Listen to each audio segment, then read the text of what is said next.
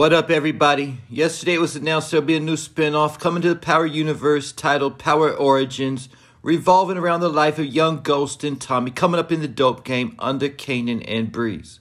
But this news also low key means that season 4 of Raising Kanan will be the last, especially after the Starz CEO recently said that it's more cost effective to cancel a series after season 3 or 4 and create a subsequent spin off or even spin offs instead.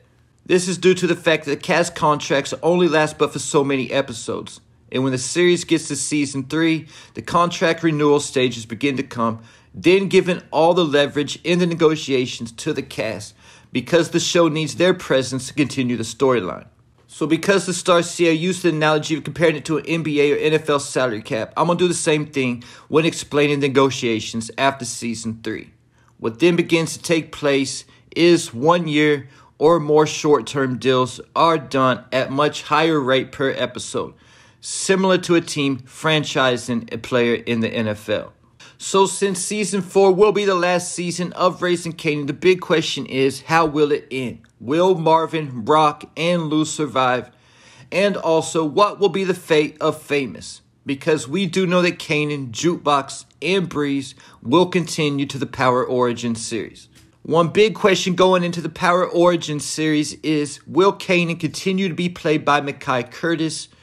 Or will there be a time jump between the season finale of Raising Kanan and the first season of Power Origins where they recast for an older, bigger version of Kanan?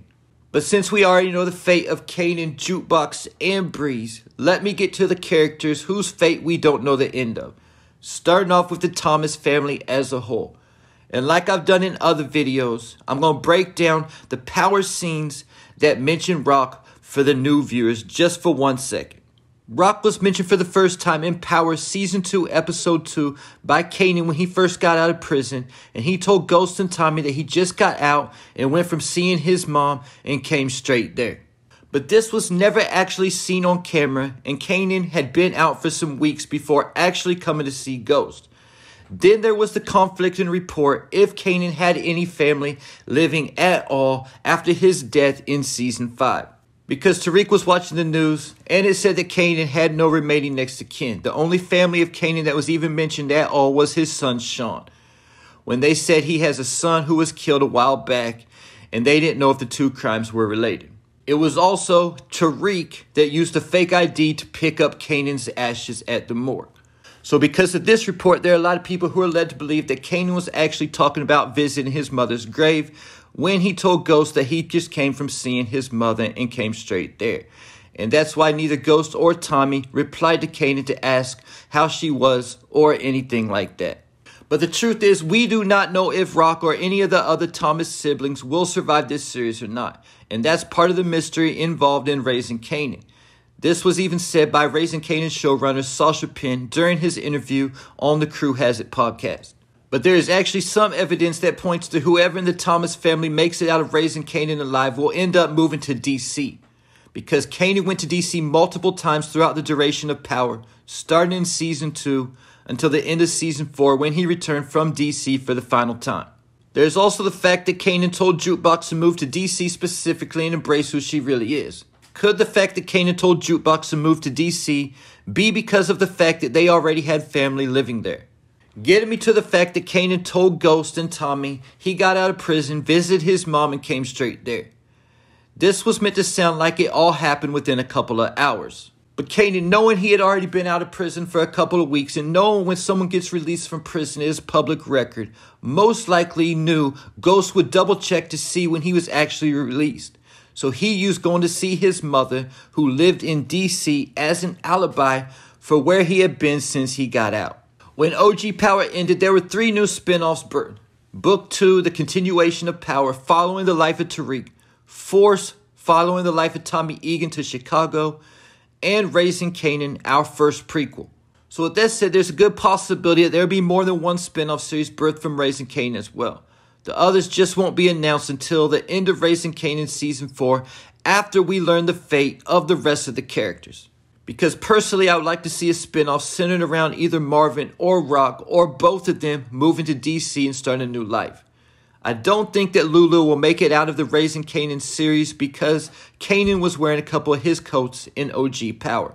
Another possibility is that some of the Thomas family will end up in prison. Last time Raising Kanan was on our screen, Marvin was at the center of an FBI investigation.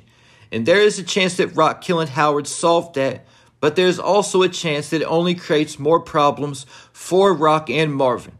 But having a character in Raising Kanan getting locked up would only add more suspense to the Power universe moving forward, with the potential of that character getting out of prison in Book 2, Force, or another future spinoff. Of course, the Ghost and Tommy spinoff would be the continuation of Raising Kanan, similar to how Book 2 was the continuation of Power. Because they will still be in the same neighborhood, and Kanan, Juke, and Breeze will still all be part of the story, as well as the other characters who survive. Getting me to Famous. Last time we saw Famous, he was in police custody as the suspect in the murder of Freddie after his mother turned the gun into the cops. So most likely Famous won't make it to the Ghost and Tommy origin series, but will either end up dead or in prison. I mentioned several months ago the possibility that Famous was in prison with Kanan in season 1 of Power. I have also mentioned in other videos that Kanan names his son Sean after Famous's government name Sean. So because of that, most believe that Famous most likely ends up dead or in prison. But there is a chance that since he's still a juvenile, he won't get that much time. And with a potential time jump going into the origin series, he might just be getting out of juvie when the series starts. And before I go, after all this time, I still got people arguing that Unique isn't Breeze. Must be either new to this channel or just refuse to believe the obvious because I have almost 20 videos now dating back two years explaining why Unique is Breeze. And at this point, the only argument I ever hear against it is that they actually really intended on killing Unique off the show, but really brought him back when the fans start complaining or some kind of foolishness like that. So Unique can't be Breeze. So you mean to tell me that after the entire season was already released and finished, that they brought Joey Badass in to refilm that final scene of the season? That is not how TV production works. This was all part of the plan from the very beginning of Raising Kanan Season 1. The fact that they never showed his body is enough to tell you that they didn't go back and rewrite the entire fourth season just to make Unique alive again. Neither was Ronnie ever supposed to be Breeze. Like I mentioned at the beginning of this video, these actors have contracts. And if Ronnie was actually supposed to be Breeze, he wouldn't have been able to cancel his contract after just one season and go on to take another role. Additionally, Grantham Coleman didn't even land his role on Emperor of Ocean Park until months after Raising Kanan Season 3 was done filming. Then keep in mind when Unique was supposedly dead, Joey Badass did the interview with TMZ telling fans to petition 50 Cent to bring him back. This was obviously a hint that he would be back to the fans who got discouraged and stopped watching the show like he said his father did. They did not rewrite the whole script and bring him back just for the final scene.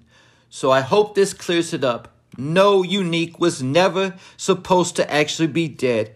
That's why his body was never shown, all a part of the original plot, despite what they tell you. And yes, Unique is Breeze. And there you have it. Leave your thoughts, theories, and predictions in the comments.